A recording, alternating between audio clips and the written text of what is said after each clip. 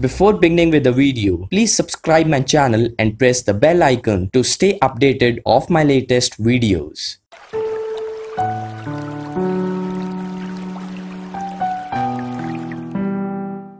Hello everyone, welcome to my channel Best of PowerPoint and in this video I'll be showing you how to use slide sections and summary zooms in Microsoft PowerPoint. Slide sections are a unique way to provide a little organization to your slide deck. This feature is very useful for presentations where the number of slides is very large and it becomes difficult to jump from one slide to the other. What slide section does is that it divides the whole number of slides in your presentation and organizes it into different sections.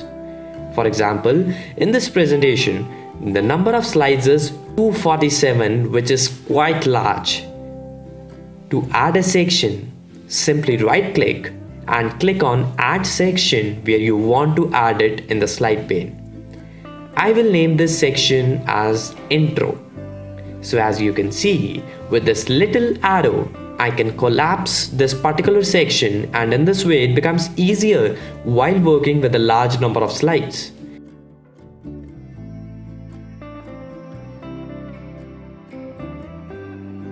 You can also move the section down or up by right clicking here and you can also delete a complete section. Alright, so this was all about arranging the slides into sections, but do you know that Microsoft PowerPoint offers a really cool feature to present these slide sections to your audience as well? Well, yes, let me show you that. As you can see, there are five different sections in my presentation. I'm going to insert a new slide. Then go to the insert tab and click on this zoom button.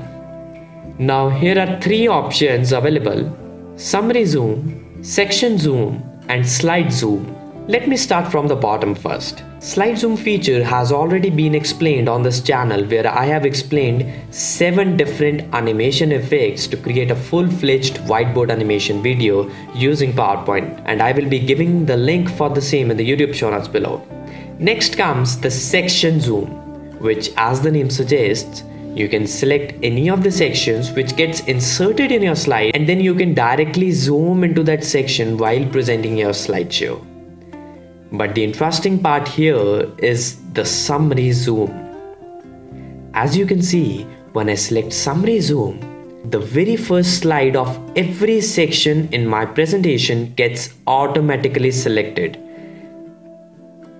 and it automatically displays all the sections of my presentations in a single slide just as the summary of my presentation and during the slideshow I can also jump into different sections from one section to the other from this single slide only. So this is quite useful and interesting feature of PowerPoint. So that's it guys. I hope that this video was helpful to you. Please like and share the video and please don't forget to hit the subscribe button. Thanks for watching and see you in my next video.